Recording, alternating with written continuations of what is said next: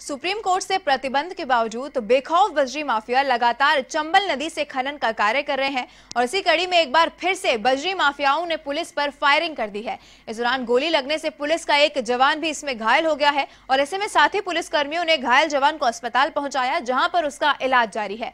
वहीं पुलिस पर फायरिंग करने की सूचना मिलने पर जिला पुलिस अधीक्षक अजय सिंह राठौड़ और अतिरिक्त पुलिस अधीक्षक राजेंद्र वर्मा ने अस्पताल पहुंचकर पूरे मामले की जानकारी ली और साथ ही पुलिस अधीक्षक के आदेश पर कोबरा पुलिस को आरोपियों की तलाश करने के लिए रवाना किया गया है।